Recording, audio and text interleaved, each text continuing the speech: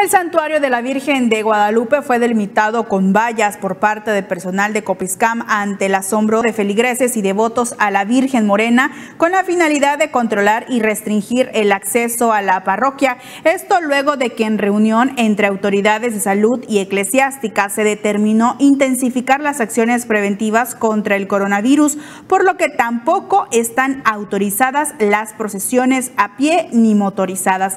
El rector del santuario, el sacerdote Asensio Carrillo Peña aseguró que la iglesia permanecerá abierta durante los días de mayor afluencia al templo.